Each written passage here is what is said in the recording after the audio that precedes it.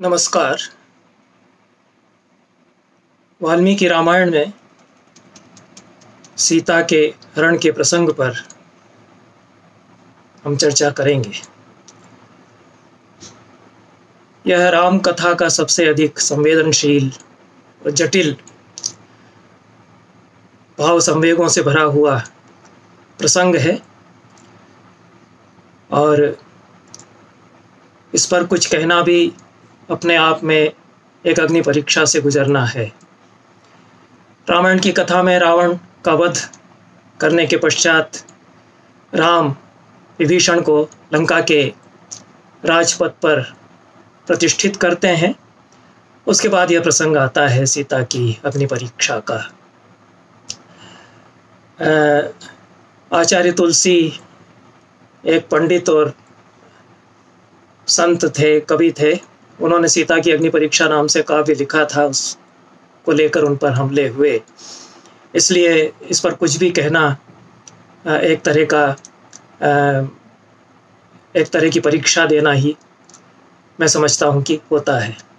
इसके पहले कि सीता की अग्नि परीक्षा के प्रसंग पर बात करें, मैं कुछ बातें स्पष्ट कर देना चाहता हूँ। एक तो पहली बात तो यह है कि वाल्मीकि की जो सीता हैं वे हमारे इतिहास की, रामायण और महाभारत, जिनको हम इतिहास कहते हैं, उनमें सबसे अधिक तेजस्विनी और बुद्धिमती नारियों में से एक हैं। उसके बहुत सारे सीता के ऐसे प्रसंग हैं, जिनमें सीता का एक परम तेजस्वी, शौर्य से उद्दीप्त रूप सामने आता है, और कदाचित लोक चित्त में लोक मानस में भी सीता की यह छवि रही है। उनके बारे में लोग कथाएँ हैं कि उन्होंने शिव के उस धनुष को उठा करके एक तरफ़ रख दिया था, जिसको कि बड़े बड़े शूरवीर उठा नहीं सकते थे।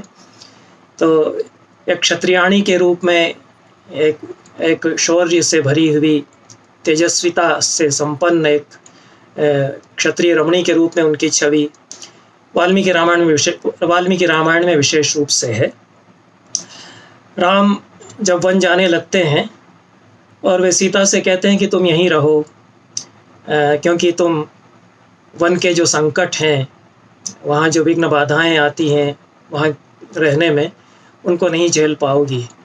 तो सीता उनको बहुत करारा सा जवाब देती हैं। एक तरह से लताड़ती हैं उनको प्रेम में और स्नेह में भर करके और कुछ मज़ाक भी उनका उड़ाते हुए वे उनसे कहती हैं कि ए, क्या समझ कर के तुमने ऐसा क्या कैसे तुमने ऐसा सोच लिया कि मैं वन की विघ्न बाधाओं को नहीं झेल पाऊँगी। तो प्रणयाचाभिमानाच परिचिक्षेप राघवम प्रेम के कारण और अपने स्त्रीत्व के स्वाभिमान के कारण राघव या रामचंद्र पर आक्षेप किया उन्होंने। उनको लताड़ने लगी और कुछ उन्होंने हँसी भी उड़ाई राम की, जो प्रेम में वे कर सकती थी। किम त्वा मन्यत वैदेह पिता में मिथिलाधिप। क्या सोच करके मेरे पिता मिथिला नरेश ने मेरा हाथ तुम्हारे हाथ में दे दिया? राम जामातरम प्राप्य स्त्रियम पुरुष विग्रह उन्होंने तुमको जामाता या दामाद अपना बना लिया, तुम तो पुरुष के वेश में स्त्री मुझे लग रहे हो। ऐसा हँसी में वे कहती हैं, और वे कहती हैं कि अग्रतस्ते गमिष्यामी, मृदनंती कुश कंटकान मैं तुम्हारे रास्ते के कुछ कांटे रोंदती हुई तुम्हारे आगे आगे चलूँगी। और यही सीता करती भी हैं। वे उसी तरह से वन में जाती हैं, उसी तरह से उत्साह में भर करके। बहुत जिजीविषा से भरी हुई एक नारी हैं। वो छुई हुई जैसी नारी नहीं है लज्जाशील उस तरह की नारी नहीं है जो कि दो कदम चलने पर भी उन, एक एक पसीना उनको आ जाता है। जैसा कि बात के कवियों ने बहुत वर्णन किया उनकी सुकुमारता का, सिया सुकुमारी का। वाल्मीकि रामायण की सीता ऐसी नहीं है।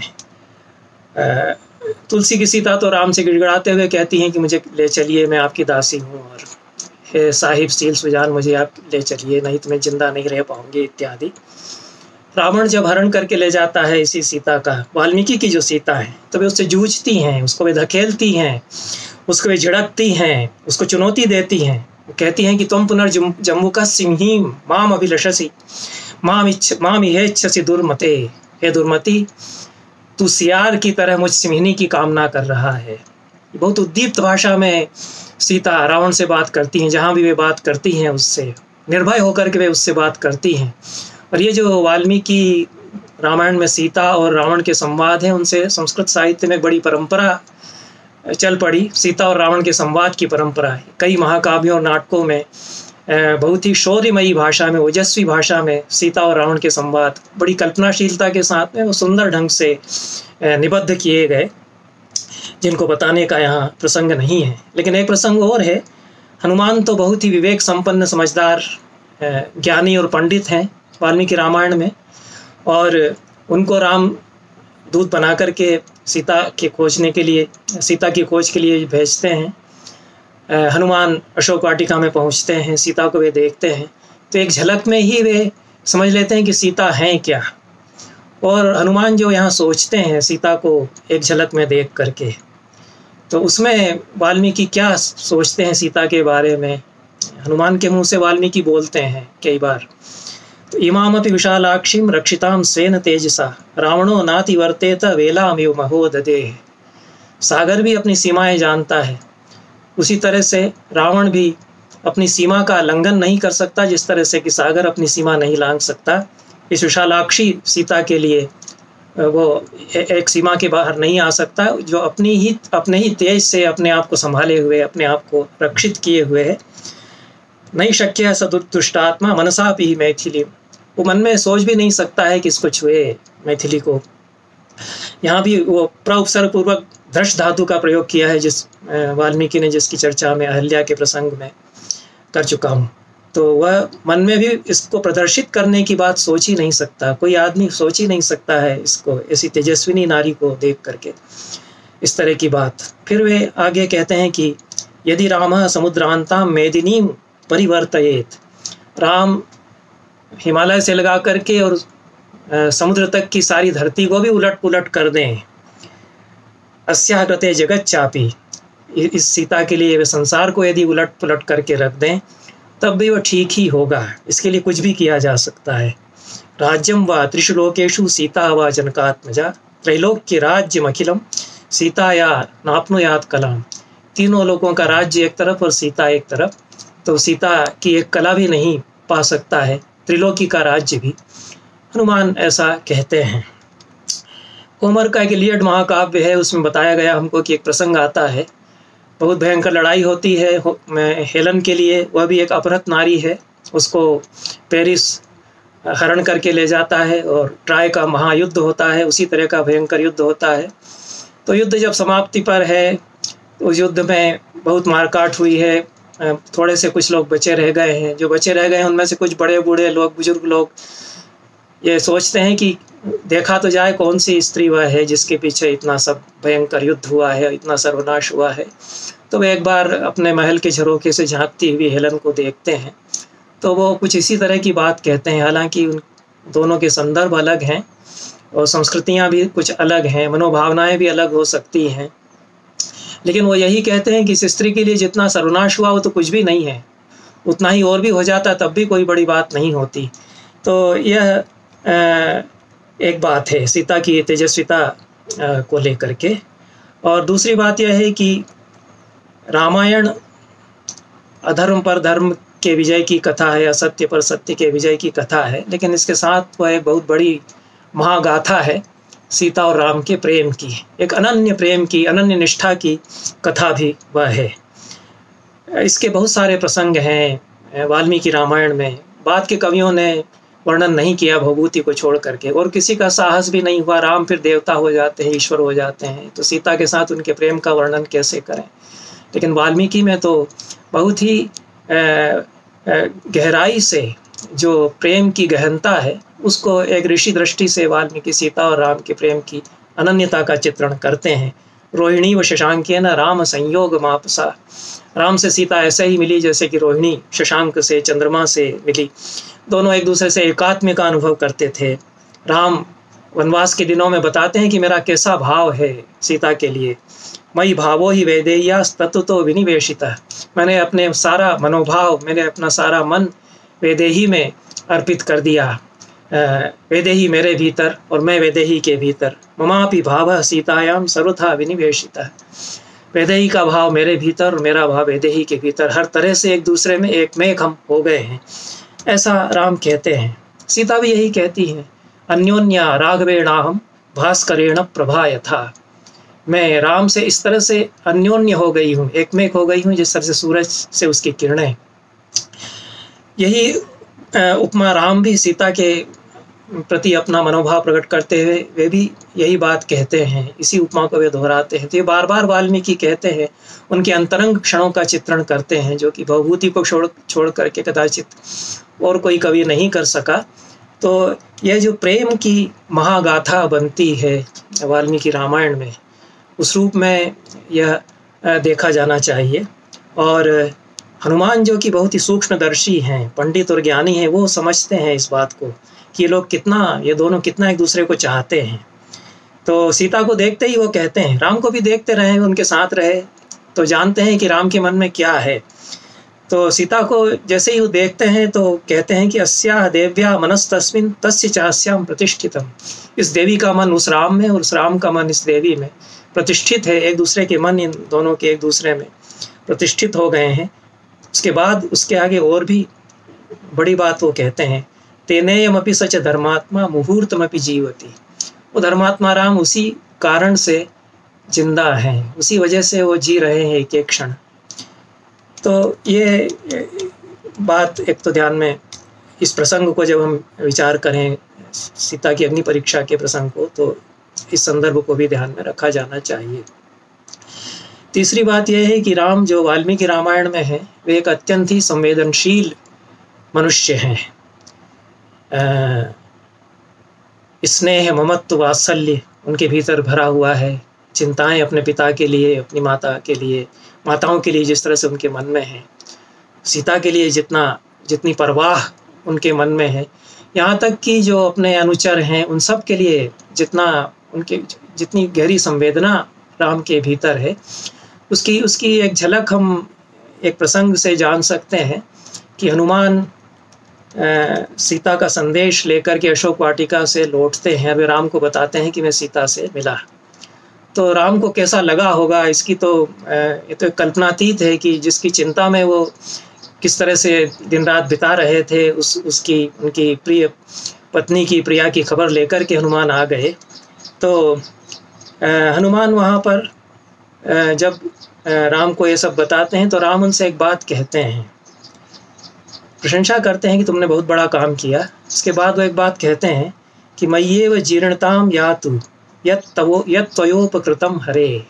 हे हरि, हे वानर, तुमने जो बड़ा उपकार मेरे लिए कर दिया, वो मेरे भीतर ही जीर्ण हो जाए। मैं उसको पचा जाऊँ, मैं अपने भीतर उसको पचा करके रखे रहूँ, और कभी वो बाहर ना निकले। क्यों कहते हैं राम ऐसा? वो कहते हैं कि मैं कभी ये सोच भी नहीं सकता कि तुम्हारा इसके बदले में मैं कुछ कर दूँ। क्योंकि जैसे ही मन में ये बात आती है कि इसके बदले में तुम्हारे लिए मैं कुछ करूँ तो उसके साथ ये बात जुड़ जाती है कि तुम्हारे ऊपर भी कुछ विपत्ति आएगी। तो कभी मैं ना सोचूं तुम्हारे लिए कि मुझे तुम्हारे लिए कुछ उपकार करने, करना पड़ जाए, क्योंकि नरा प्रत्युपकारार्थी विपत्ति भी कांक्षती। राम ही कह सकते थे और किसी ने नहीं कहा और किसी ने नहीं सोचा। जो सामान्य मनुष्य हैं उनका यदि कोई उपकार करता है तो तुरंत सोचते हैं कि इसके बदले में हम क्या कर दें। वे नहीं जानते कि जैसे ही हम ये सोच रहे हैं कि इसके बदले में हम क्या कर दें वे अपने उपकारी का कुछ अशुभ सोच जाते हैं उसके साथ। राम इतने संवेदन से भरे हुए हैं कि वे कहते हैं कि ऐसा मैं सोच सो, जैसे ही सोचूँगा तो मेरे मन में तो भीतर कहीं ना कुछ आ, आ, उस प्रत्युपकार के साथ में विपत्ति की कांक्षा आ जाएगी कि तुम्हारे ऊपर विपत्ति पड़े तो मैं तुम्हारा प्रत्युपकार करूँ। तो प्रत्युपकार करने की बात मैं सोच भी नहीं सकता। इस तरह की संवेदनाएँ राम के भीतर हैं।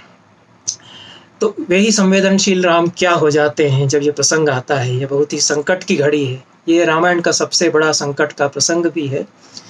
इसके साथ एक आखिरी बात यह भी है कि मैं जहाँ तक समझता हूँ, ये जो सीता की अग्नि परीक्षा का प्रसंग ही वह केवल वह केवल सीता की ही अग्नि परीक्षा का प्रसंग नहीं है, वह राम की भी अग्नि परीक्षा का प्रसंग है। इस पर असहमति हो सकती है। इसके बाद इतनी भूमिका के बाद हम जिस तरह से सीता की अग्नि परीक्षा का प्रसंग वाल्मीकि रामायण में है, उस पर बात करेंगे। रावण का वध हो चुका है। राम के मन के भीतर कहीं बहुत गहरी ललक तो है ही कि सीता को देखें। इतने साल के बाद, कितनी विरह व्यथा वाल्मीकि ने उनकी चित्रित की है, अत्यंत मार्मिक राम के विरह का जो वर्णन है, सीता के हरण के बाद, वो सबसे करुण मार्मिक प्रसंगों में है, पूरी वाल्मीकि रामायण रामायण में, और उसी, इसी के कारण उसको करुणा की कविता कहा जाता है। तो लेकिन रावण मारा गया, सीता की कोई चर्चा नहीं है। राम कहते हैं कि रावण का अंतिम संस्कार किया जाए। विभीषण को समझाते हैं कि रो मत। जो मंदोदरी और राक्षस स्त्रियाँ रो रही हैं उनको उनको समझाते हैं। अंतिम संस्कार की सारी व्यवस्था कराते हैं। फिर लक्ष्मण से कहते हैं कि अब विभीषण का राज्याभिषेक कर दिया जाए। तुम जाओ। राम तो स्वयं किसी नगर में जा नहीं सकते। तो लक्ष्मण को भेजते हैं। लंका की इसका राज्याभिषेक, तुम ये जल घट में लेकर के जाओ करवाओ, संपन्न करवाओ।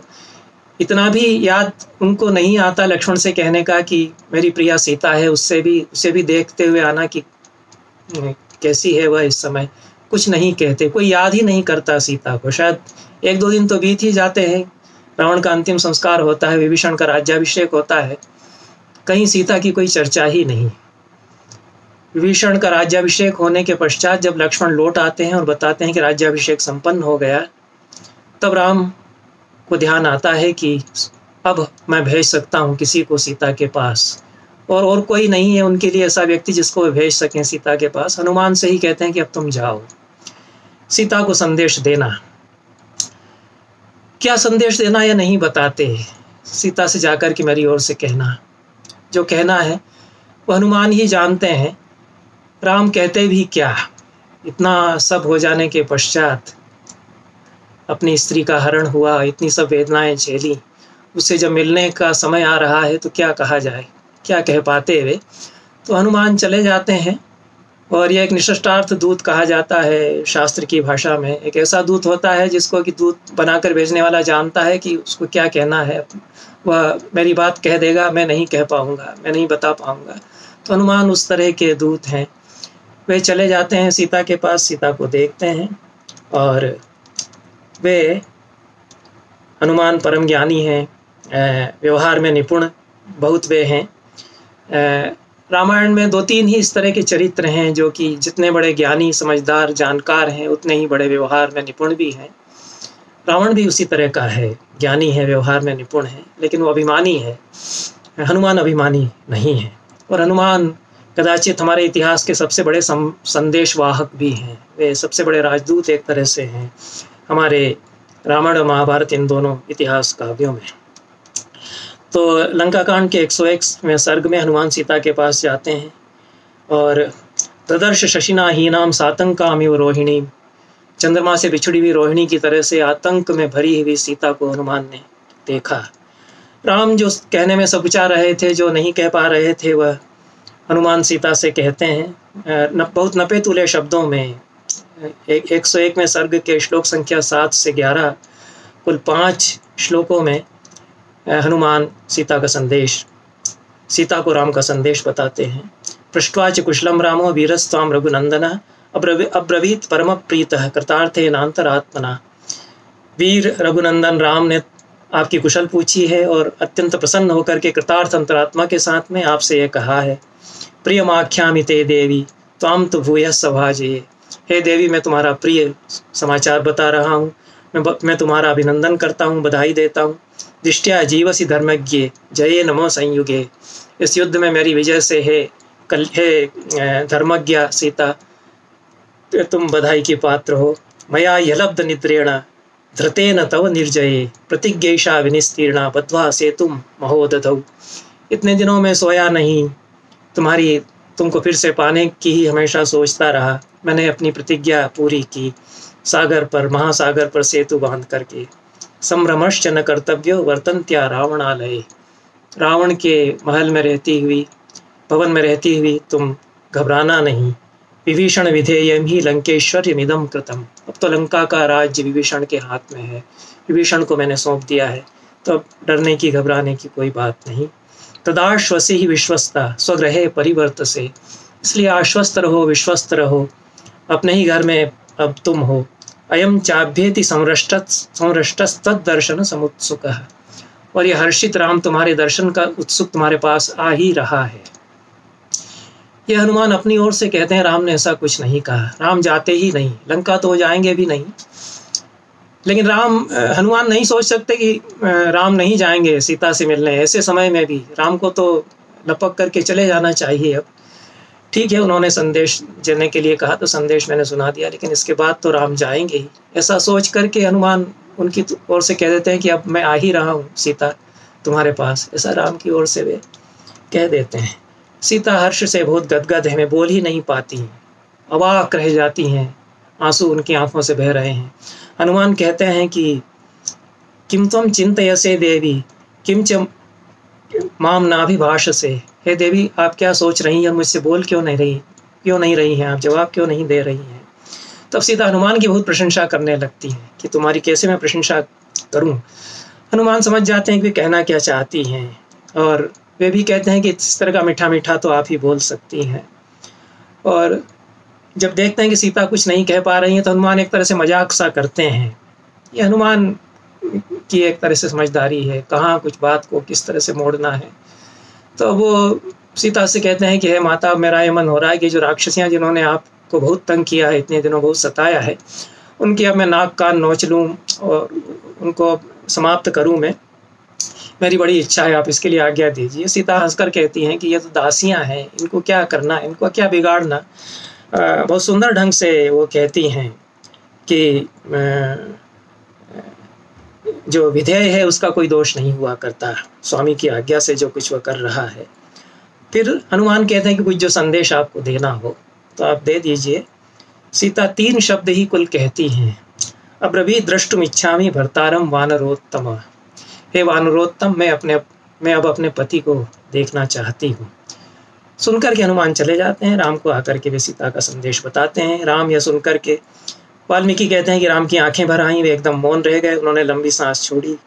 नीचे निगाह किए हुए उन्होंने विभीषण से कहा कि सीता को स्नान करा करके, दिव्य अंगराग लगा करके, विभूषित करवा करके यहाँ ले आइए। विभीषण जाते हैं और अपने अंतपुर की स्त्रियों से कहते हैं कि सीता को अच्छी तरह से सजा दजा करके राम के पास ले चलना है। सीता मना करती हैं कि मुझे कुछ स्नान नहीं, मुझे कुछ अंगराग नहीं, कुछ साज सज्जा नहीं, मुझे आप ले चलिए। लेकिन उनको समझाती हैं, जब रानियाँ अंतपुर की स्त्रियाँ तो वे तैयार होती हैं, उनको शिविका में बिठा करके, पालकी में बिठा करके ले जाया जाता है। यह भूमिका के लिए इतना प्रसंग बताना आवश्यक था। तो सीता राम के पास लाई जा रही हैं। रावण को राम को बताया जाता है कि सीता आपके पास आ रही हैं। ताम आगताम उपश्रुत्य रक्षो ग्रह चिरोषिता। राक्षस के घर में इतने समय तक रही उस सीता को आया हुआ जान करके वो आ रही है जान करके हर्षो दैन्यम च रोषश्च त्रयम राघव माँ हर्ष, दीनता और रोष, ये तीनों भाव राम के भीतर एकदम से गड्ढमड्ढ हो गए। इसको भाव सबलता कहते हैं, काव्यशास्त्र में कई भाव एक साथ दो तीन भाव या दस पंद्रह, चार पाँच भाव एक साथ मन में गड्ढमड्ढ होकर के उठते हैं।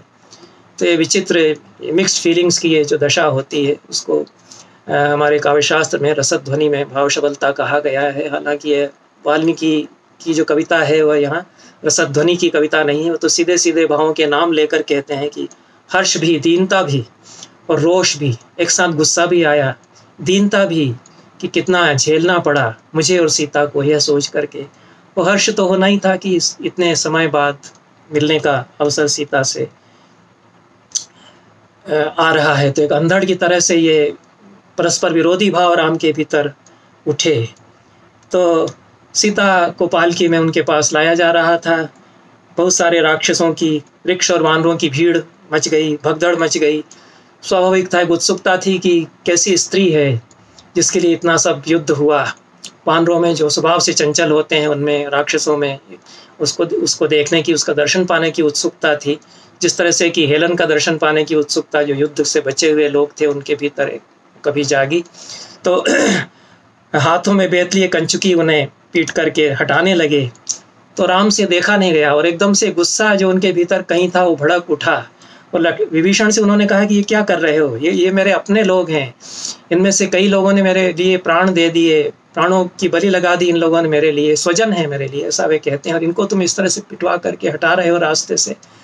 तो ये समय नहीं है। अब सब लोगों को देखने दो सीता को, वह उस स्त्री को जिसके लिए यह सब हुआ है। तो उसको शिविका से उतार करके लाया जाए। और सब नीति की बात भी कहते हैं। राम, न ग्रहाणी न वस्त्राणी न प्राकारा स्थिरस्क्रिया नेदृशा राज सत्कारा वृत्तमावरणम स्त्रिय। स्त्री के लिए उसका चरित्र ही उसका आवरण है, उसकी लाज है। घर में रहना, कीमती वस्त्र पहनना, शिविका में आना, तिरस्क्रिया में आना ढक कर के लाया जाना, महलों में रहना और राज सत्कार के साथ लाया जाना, यह सब उसके उसके चरित्र का सूचक नहीं है। तो न व्यसनेशु न कृच्छेशु न युद्धे, न स्वयं वरे न कृतौ नो विवाहे, न कृतौ नो विवाहे च दर्शनम दुष्यते स्त्रिय।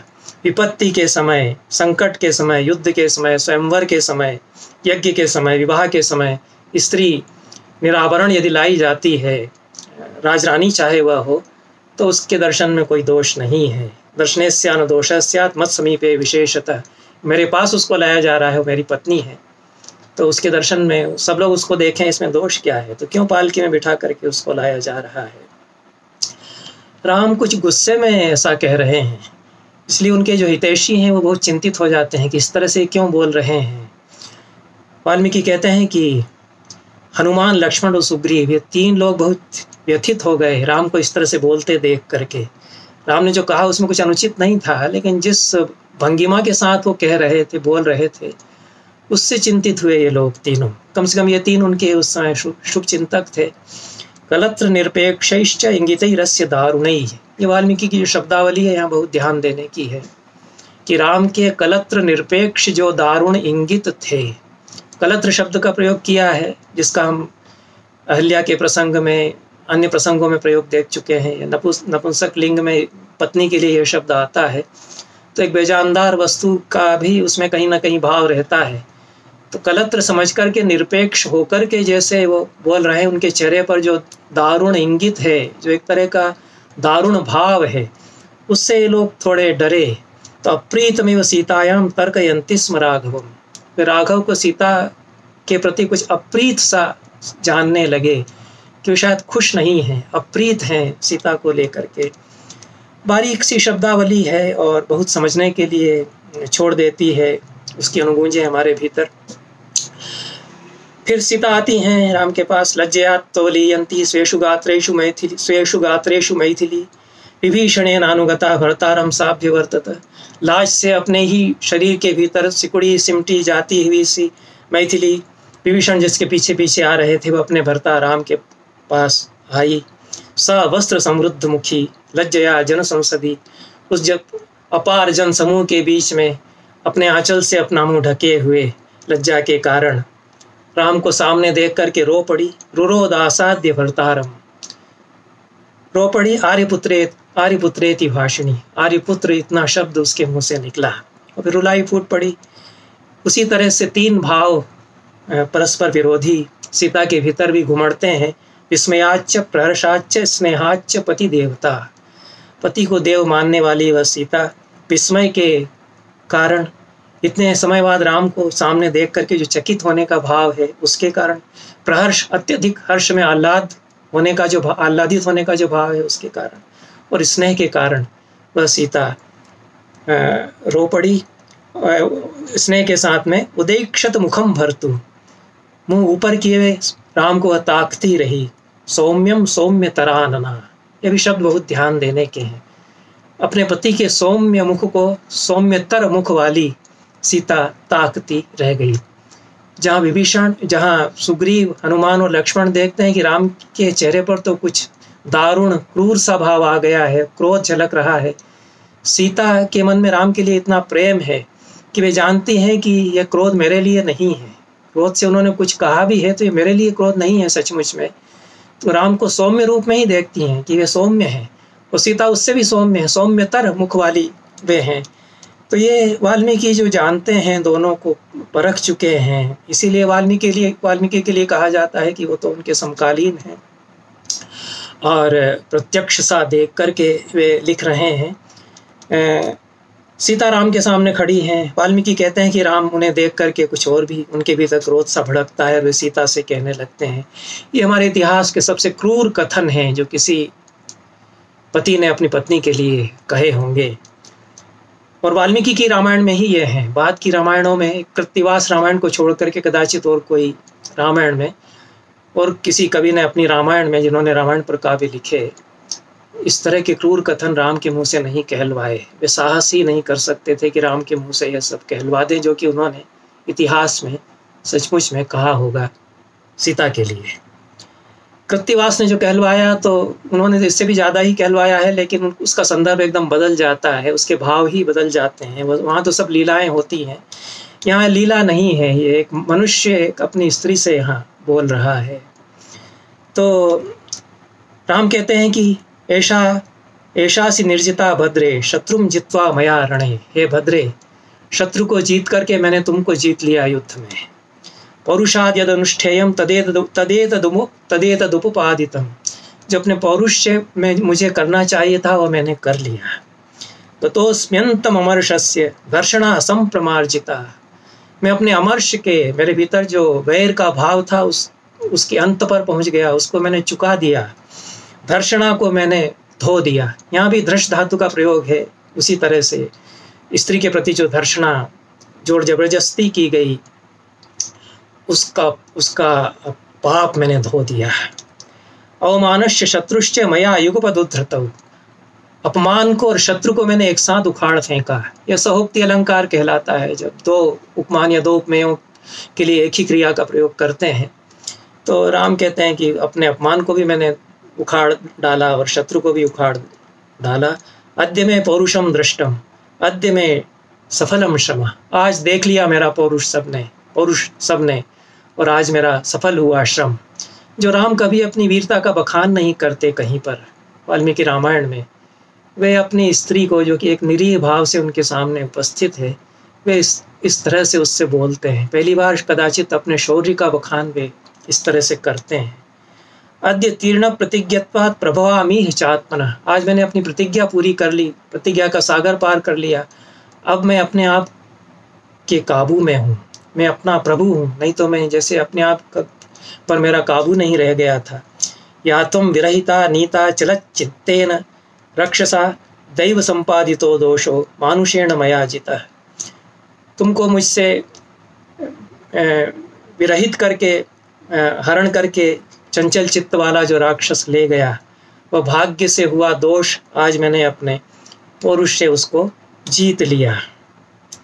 इसके बाद किस तरह से मैंने अपमान, अपने अपमान को धो दिया है? किस तरह से मैंने समुद्र पर सेतु बंधवाया और लांगा? किस तरह से मैंने लंका को कुचल डाला? किस तरह हनुमान का, सुग्रीव का सारा शौर्य और वीर सफल हुआ? इस सब की वे बात करते हैं, विभीषण की बात करते हैं। जो अपने मन में कहीं भीतर था, उसकी बात तो करते ही नहीं है। वे सब कुछ और बातें करने लगते हैं। जो कि शायद कहना नहीं, करना नहीं चाहिए थी इस समय राम को। वाल्मीकि कहते हैं कि राम यह सब कहते जा रहे हैं। सीता एक भयभीत हिरणी की तरह आँखें फाड़े उन्हें ताक रही हैं। उनकी आँखों से आँसू बह रहे हैं। उनको यूँ रोते देख कर राम के भीतर और भी अधिक क्रोध भड़क उठता है, जैसे धधकती आग में घी डाला गया हो। और राम कुछ यूँ फिर कहने लगते हैं। जो वे कहते हैं उसको मैं विस्तार से यहाँ नहीं बताऊँगा। वे कहते हैं कि यह मत सोचना कि यह सब मैंने तुम्हारे लिए किया है। मैंने तो अपने शौर्य को प्रमाणित करने के लिए यह सब किया, अपना अपमान धोने के लिए यह सब किया। प्राप्त चारित्र संदेहा मम प्रति मुखे स्थिता। तुम्हारे चरित्र पर संदेह किया गया था, तुम अब मेरे सामने खड़ी हो वही सीता। दीपो नेत्रा तुरस्व प्रतिकूला सी में दृढ़ जैसे जिसकी आँख आ गई हो, उसके सामने तेज रोशनी लाई जाए, इस तरह से तुम मेरे सामने अब खड़ी हो। एक दुर्लभ अछूती उपमा है, जिसको अयोनी अर्थ का शास्त्र में कहा जाता है। उस तरह का अर्थ ये है। कंजेक्टिवाइटिस हो जाता है, जब उस समय कोई अगर तेज रोशनी, तेज दिया बल्ब जला दे सामने तो आँखों को जिस तरह से बुरा लगता है, उस तरह से तेजस्वी रूप तुम्हारा मेरे सामने है, मैं नहीं सह पाता इसको। ऐसा राम कुछ कहते हैं। फिर तो वे बहक ही जाते हैं। शायद ये राम नहीं कहना चाहते थे। ये राम नहीं कह रहे हैं वस्तुतः। ये जो सारा समाज है जो हज़ारों हज़ारों वानरों की राक्षसों की भीड़ वहाँ इकट्ठी कौतुक से देख रही है कि क्या कहेंगे वो समाज बोल रहा है वो रूढ़ियाँ बोल रही हैं परंपराएँ बोल रही हैं राम के भीतर से। शायद धर्म बोल रहा है जो, जो धर्म के नाम पर जो कुछ होता है वह सब बोल रहा है। तो राम कहते हैं कि अब मेरी ओर से तुम्हें छूट है दसों दिशाएँ तुम्हारे लिए खुली हुई हैं। कौन पुरुष ऐसा होगा जो कि पराए घर में रह चुकी स्त्री को वापस स्वीकार कर ले? रावण के अंक से गिरी हुई तुम। उसकी कलुषित दृष्टि का पात्र बनी हुई तुम। मैं कैसे तुम्हें स्वीकार कर सकता हूँ? स्वीकार करके मैं कैसे अपने ऐसे महनीय कुल पर दाग लगा लूँ? मुझे अब तुमसे कुछ लेना देना नहीं है। तुम लक्ष्मण के पास जाना हो, चली जाओ। तुम भरत के पास, सुग्रीव के पास, विभीषण के पास, जिसके पास जाना हो, चली जाओ। आग की तरह ये वचन थे राम के। अग्नि परीक्षा तो सीता की यहीं हो जाती है। वे उस अग्नि परीक्षा से यहीं गुजर जाती हैं। वे इस तरह से जल रही हैं। पाव को पम या अग्नि के समान इन वचनों से। लेकिन वाल्मीकि की सीता ऐसी नहीं है कि उत्तर न दें। बहुत सदा हुआ और बहुत तेजस्वी भी और बहुत गंभीर उत्तर भी सीता यहाँ राम को दे, राम को देती हैं। एक सौ चारवें सर्ग में युद्ध कांड के वाक शल्य स्तई शल्य व भ्रषमष्ट्रूण्य वर्तत। रूपक है यहाँ पर। वाक्शल्य में और सशल्या में उत्प्रेक्षा है शशल्यायु में उत्प्रेक्षा है। वाणी की बर्छी वाणी रूपी बर्छी से जैसे गोया की घायल हुई सीता ने राम को उत्तर देना। शुरू किया धीरे धीरे उसने कहा, गुस्से में भर के उस तरह से नहीं बोली। लेकिन एक एक बात बहुत सधा हुआ जवाब राम की राम ने जो कुछ कह दिया, उस सब का। और यह जानकर के ही सीता बोल रही हैं कि राम नहीं बोले। यह तो जो कुछ समाज है वो बोल रहा है उनके माध्यम से। जिस राम ने मुझसे प्रेम किया, जिस राम ने मुझे चाहा, वो है कहीं मौजूद उनके भीतर, लेकिन वो नहीं बोला है इस समय। यह समझ कर के सीता बोली है, बहुत मार्मिक भी पूरा यह सीता का उत्तर है। तो कहती हैं कि जिस तरह से साधारण, सामान्य कोई आदमी, छोटा आदमी, छोटी स्त्री के लिए कोई बात कह दे, उस तरह से तुमने ऐसी बात कैसे हे वीर, तुमने कह दी, अकारण श्रोत्र दारुण यह बात कह दी। श्लोक अब मैं नहीं पढ़ूँगा। और इतना सब इतिहास रच देने के बाद मैं भी एक साधारण स्त्री नहीं रही। तुम भी एक साधारण सामान्य मनुष्य नहीं रह गए। न तथास्मि महाबाहो, यथा तुम अवगछसी हे महाबाहु, मैं वैसी स्त्री नहीं हूँ जैसी तुम समझ रहे हो। पृथक स्त्री नाम प्रचारेण जातिम तुम परिशंक से तुम एक ओछी छोटी स्त्री समझ करके मेरे चरित्र पर शंका कर रही हो, कर रहे हो। यद्य हम गात संस्पर्शम गतास्मि विभुषा प्रभु। हे प्रभु, यदि मेरे शरीर को छू लिया है किसी ने तो कामकारो न मे तत्र दैवम तत्रापराध्यति उसे मेरी तो कोई इच्छा नहीं थी। उस तो भाग्य की बात है। मद अधीनम तो यह तन्मय हृदयम त्वयि वर्तते। मेरे अधीन तो मेरा हृदय है, लेकिन वह तो तुम्हारे ही पास था हमेशा। पराधीनेशु गात्रेशु किम करिष्याम गात्र शरीर तो पराधीन है। उसको लेकर के मैं क्या करती? पारदर्शी भाषा में बींदता हुआ सत्य सीता कहती है कि यदि यही भाव सचमुच में तुम्हारे लिए तुम्हारे मन में मेरे लिए था, जब हनुमान को दूध बना करके तुमने भेजा, उसी समय यह क्यों नहीं कहलवा दिया कि मैं तुम्हें त्याग मैं तुम्हारा त्याग कर दूँगा? तो यह सब सर्वनाश नहीं होता। मैं उसी समय आग में जल करके अपनी काया को समाप्त कर देती। तो यह सब जो इतने लोग मर खप गए। मेरे कारण वह सब सर्वनाश नहीं होता है। जो बात वो पहले भी कह चुकी थी, जब वन जाने के लिए मना किया था राम ने, कि ये तो स्त्री, सामान्य स्त्री के जैसी तुम बात कर रहे हो, तुम्हारे पुरुष से भरी हुई बात यह नहीं है। तो एक छोटे आदमी की तरह से, एक छोट, मामूली सी स्त्री की तरह से तुम बोल रहे हो। क्योंकि स्त्रियाँ इस तरह की बात करती हैं, चरित्र पर शंका होना, जो सामान्य नारियाँ हैं, वे कर सकती हैं। यह बात भी सीता कहती हैं, त्वया तो नर शार्दूल क्रोध मेवानुवर्तता लघुनेव मनुष्यण स्त्रीत्वमेव पुरस्कृतम। एक छोटे आदमी की तरह से स्त्रीत्व ही तुमने सामने रख दिया, तुम्हारे भीतर जो था। लक्ष्मण यह सब नहीं सह पाए, जो राम ने कहा और जो सीता ने उसके उत्तर में कहा, वे असह्य वेदना के साथ राम का मुँह ताकते रहे। सीता ने लक्ष्मण से कहा कि मेरे लिए चिता बना दो और कोई अब मेरे लिए विकल्प नहीं है। राम की इच्छा देख करके लक्ष्मण ने भी चिता रची और सीता उस चिता में जो अग्नि थी, उसमें वे प्रवेश कर गई। यह सीता की अग्नि परीक्षा का इतना प्रसंग है। उसके बाद जो कुछ होता है, वह एक सुपर नेचुरल एलिमेंट जिसको कहते हैं, अति प्राकृत प्रसंग। अलौकिक तत्व वहाँ आता है। सीता को अग्निदेव लेकर प्रकट होते हैं, देवता प्रकट होते हैं। सीता के सतीत्व की साक्षी वे देते हैं। यह सब प्रसंग है, वह एक मिथक का भाग है।